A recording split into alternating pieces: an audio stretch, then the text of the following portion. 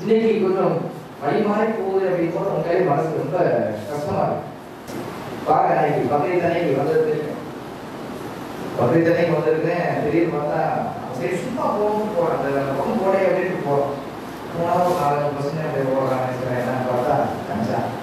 நாளுக்கு முன்னாடி தமிழகத்தில் நல்லா ஃபுல்லா மது அருந்தி விட்டு தன்னுடைய தாயை ஈவரக்கமே இல்லாமல் அடித்து கொலை செய்யக்கூடிய காட்சியை பார்ப்போம் அவரால் நிற்கவே முடியவில்லை.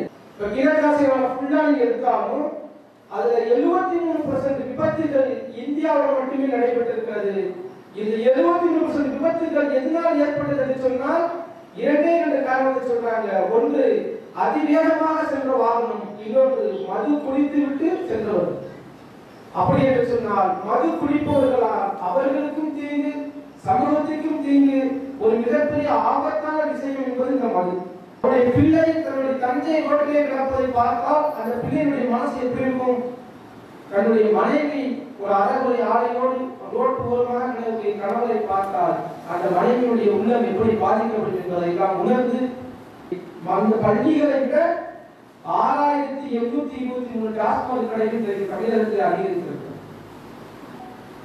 தூங்க விட மாட்டாங்க. நைட்டு ஒரு மணி ரெண்டு மணிக்கெல்லாம் ஃபோன் அடிச்சு சார் வைக்க அந்த ஓட்டுறாங்க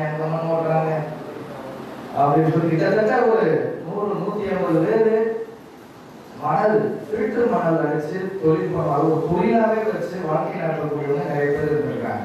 இரநூறு மீட்டர் பேர் போயிருக்கான் அடிச்சு முன்னாடி இந்த வீல் அந்த சக்கரம் வந்து திரைக்கிட்டு இருப்போம் காணும். பெருங்குளம் மீனாட்சி குட்டி வலசை அந்த சில வட்டார வலசை ஏரியாவெல்லாம்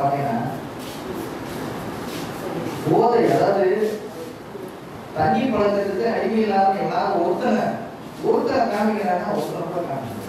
போதை வந்து போதை பொருள் அதிகமாக பயன்படுத்தக்கூடிய மாவட்டம் அப்படின்னு பார்த்தோம்னா அடுத்து ராமநாதன் தான் சொல்றாங்க ஸ்ரீலங்கா போய் அதை விற்பனை செய்து வரக்கூடிய வருமானத்தை போல் தற்பொழுது மாவட்டம் இது ராமநாதபுரம் மாவட்டத்திலேயும் விற்பனை செய்யும்போது கிடைக்க கிடைக்குது அப்படிங்கிற ஒரு சூழ்நிலைக்கு வந்துருச்சு.